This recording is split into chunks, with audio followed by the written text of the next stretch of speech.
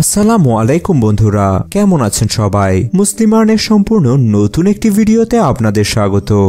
আজকের এই ভিডিওতে আপনি জানবেন, একটি হৃদয় বিদারক ঘটনা, আল্লাহর ইবাদত করা ব্যাং ও একটি বেনামাজের ছেলের ঘটনা। যেভাবে একটি ব্যাং এক বেনামাজের ছেলেকে পরিণত করে দিল এক নামাজি ইমানদার ব্যক্তিতে।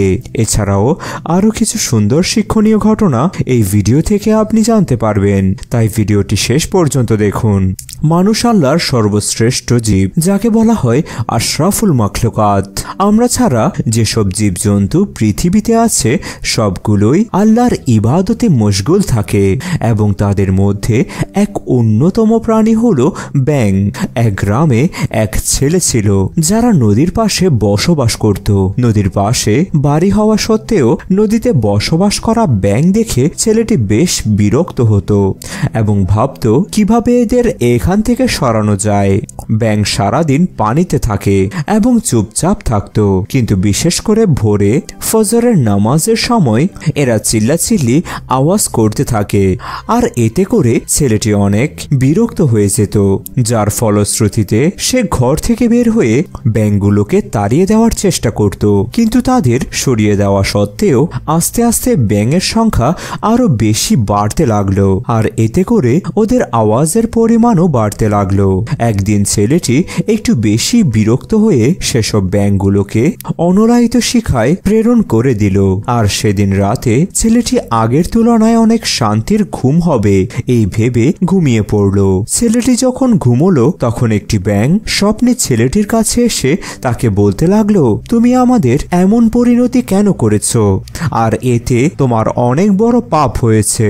আর আমি কি তোমাদের কোনো ক্ষতি করেছি?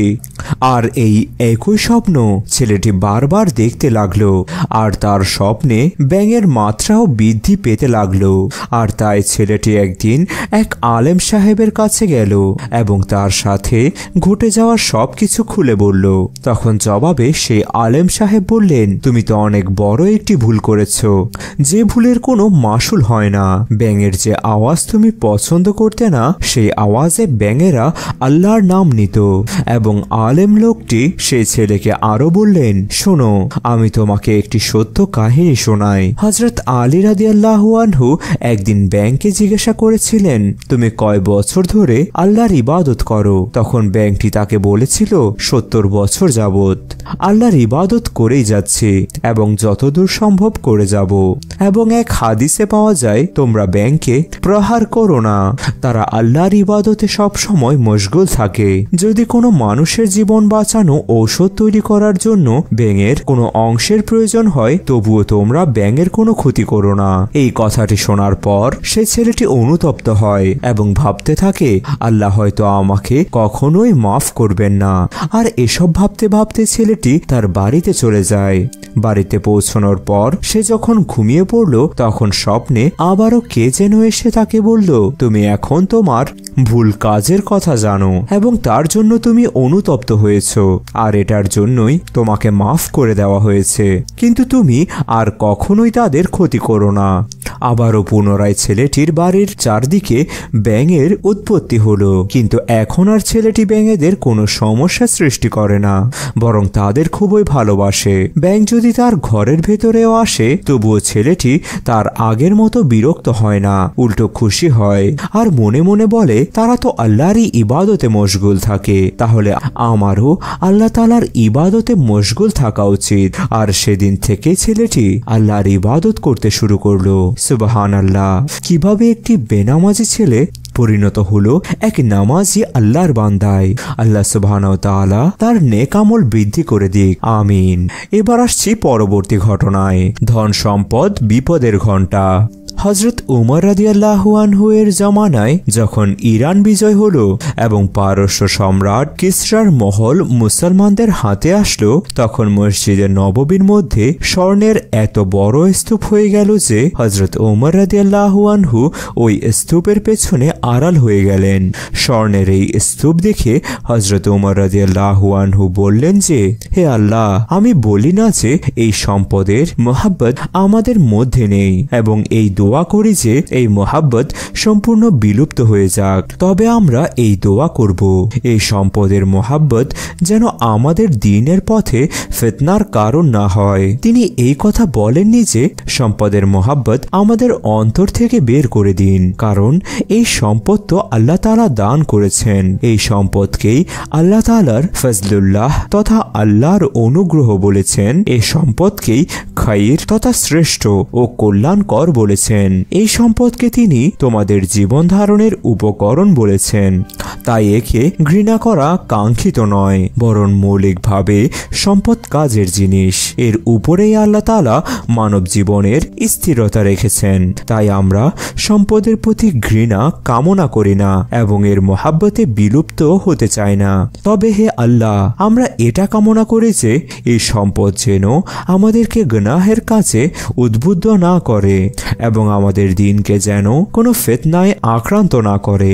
ইমাম গাজ্জালি রহমতুল্লাহ আলাই বলেন, সম্পদের ভালোবাসা এবং সম্পদে ব্যয় করতে অন্তরে কষ্ট লাগা দূষণীয় ও গুনাহের নয়। তবে এমতাবস্থায় এই আশঙ্কা রয়েছে যে, এক সময় এই অবস্থা বৃদ্ধি পেয়ে কৃপণতার সীমানায় পৌঁছে যাবে এবং যে কোনো সময় ওয়াজিব হক আদায় করার পথেও বাধা সৃষ্টি হবে।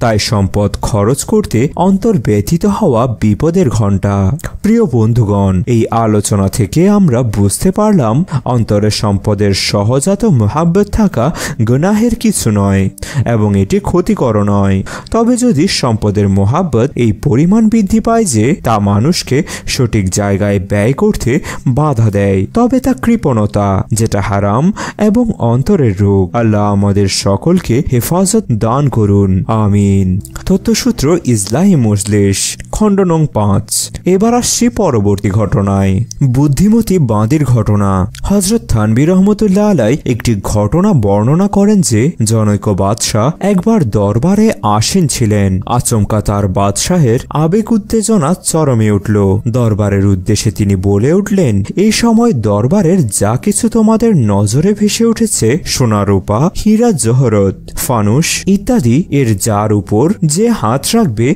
সবই তার হয়ে যাবে। ঘোষণা হতেই পুরো দরবারে হইচই পড়ে যায়। কেউ স্বর্ণের দিকে দৌড়ে গেল, কেউ দৌড়ে গেল রূপার দিকে, কেউ বা হীরার দিকে, কেউ জহরতের দিকে ছুটতে লাগল। একজন বুদ্ধিমান বাঁধি বাদশাহের কাছাকাছি দাঁড়ানো ছিল। সকলে যখন মূল্যবান হীরা জহরত সংগ্রহের প্রতিযোগিতায় লিপ্ত, সে সময় সে একটি হাত বাদশার মাথার উপরে রাখল। বাঁধি ভাবলো, ওরা সবাই বিয়াকুফ। কেননা ওরা সোনার উপার দিকে দৌড়চ্ছে।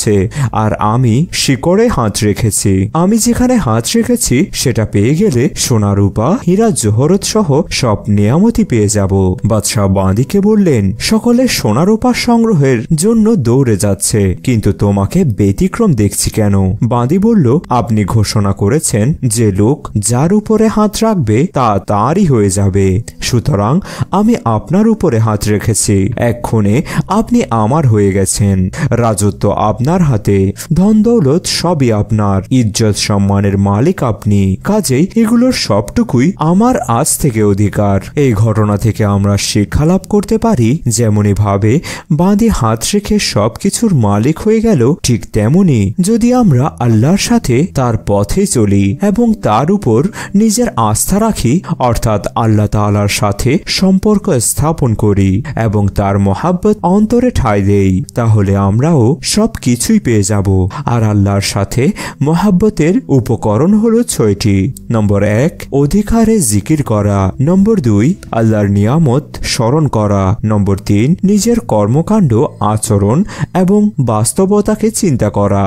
নম্বর চার, কোন আল্লাহওয়ালার সাথে সম্পর্ক স্থাপন করা। নম্বর পাঁচ, ইবাদতের ধারাবাহিকতা। নম্বর ছয় আল্লাহর কাছে দোয়া করা। আল্লাহ পাক আমাদের সঠিক বুঝে, সঠিক আমল করার তৌফিক দান করুন। আমিন। এবার আসছি পরবর্তী ঘটনায়। একটি দুঃখিনী মেয়ের ঘটনা। বর্ণিত আছে একবার হজরত আবদুল্লাহ ইবনে মোবারক রহমতুল্লাহ আলাই হজে যাচ্ছিলেন। সঙ্গে এক হজ কাফেলাও ছিল। পথিমধ্যে এক স্থানে কাফেলার লোকেদের একটি মোড়ক নষ্ট হয়। কাফেলার লোকেরা এটিকে আবর্জনার স্তূপে ফেলে দিল। হজরত আবদুল্লাহ ইবনে মুবারক রহমতুল্লাহ আলাই কাফেলার লোকেদের সাথে একটু পেছনে ছিলেন। তিনি দেখতে পেলেন কাফেলার লোকেরা মোরগটি ফেলে চলে গেল। ইতোমধ্যেই পাশের বস্তি থেকে একটি মেয়ে এসে এটিকে উঠিয়ে নিয়ে তাড়াতাড়ি কাপড়ের নিচে লুকিয়ে নিল। এরপর দৌড়ে বাড়ি চলে যায়। হজরত আবদুল্লাহ ইবনে মোবারক রহমতুল্লাহ আলাই দূর থেকে সবকিছু দেখে বিস্মিত হলেন। ভাবলেন, কে সে মেয়েটি? এত আগ্রহের সঙ্গে এই মোরগকে নিয়ে গেল। হজরত আবদুল্লাহ ইবনে মোবারক রহমতুল্লাহ আলাই মেয়েটির ঘরে গিয়ে জিজ্ঞাসা করলেন, সে কেন এটিকে নিয়ে এসেছে? এটি দিয়ে সে কি বা করবে? অনেক অনুরোধের পর মেয়েটি বলল, আসল ব্যাপার হলো, আমার বাবা এন্তেকাল করেছেন। তিনি ছিলেন আমাদের জীবিকার একমাত্র মাধ্যম। ঘরে আমার বিধবা মা, আর আমি মেয়ে মানুষ। আজ কতদিন যাবৎ ঘরে খাবার কিছুই নেই।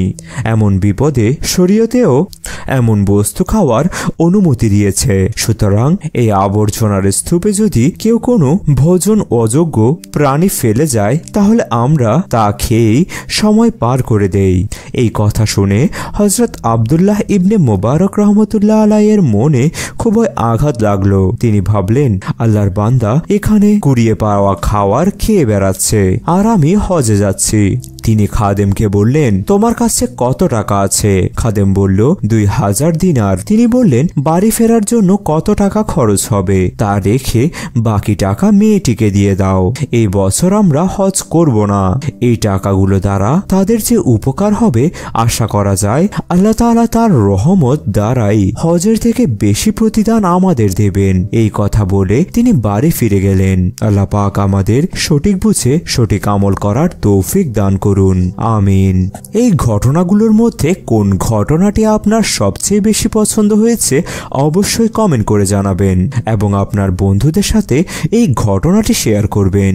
এমন শিক্ষণীয় ও জ্ঞান নির্ভর ইসলামিক ঘটনা নিয়মিত জানতে মুসলিমানকে এখনই সাবস্ক্রাইব করুন এবং পরবর্তী ভিডিওর আপডেট পেতে বেল আইকনে ক্লিক করুন। ভিডিওটি কেমন লেগেছে, অবশ্যই কমেন্ট করে জানাবেন এবং আপনার বন্ধুদের সাথে শেয়ার করবেন, যাতে তারাও নিজেদেরকে সঠিক পথে পরিচালিত করার একটি দিক নির্দেশনা পায়। আপনাদের কাছে এই পাওনাটি আমাদের পরবর্তী কাজের উৎসাহ যোগাবে এবং আমাদের অন্যান্য ভিডিওগুলো না দেখে থাকলে দেখে নিতে পারেন এখনই।